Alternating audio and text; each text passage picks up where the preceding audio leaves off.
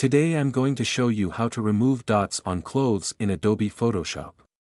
First, let's make a copy of this background or subject layer by pressing Ctrl J.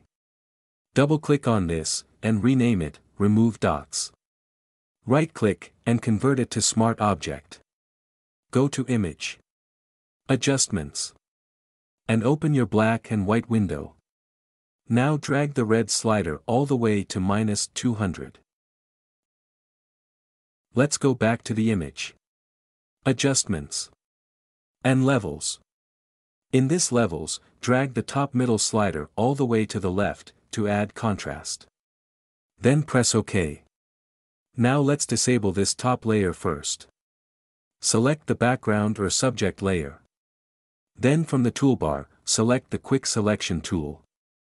Click and drag over the shirt to select it. Let's enable this top layer. Then go to Select. And Color Range. From the drop-down, select the highlights. I'll increase the fuzziness all the way to 40%.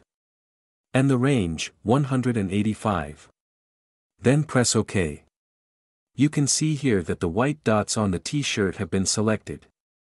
Now let's delete this smart filters. Then right-click, and rasterize layer. Go to Select. Modify. And expand selection. I'll make the expand by 2 pixels, this depends on your image size. With the selection active, go to Edit. And open your fill window. Under the contents, select Content Aware. Then press OK.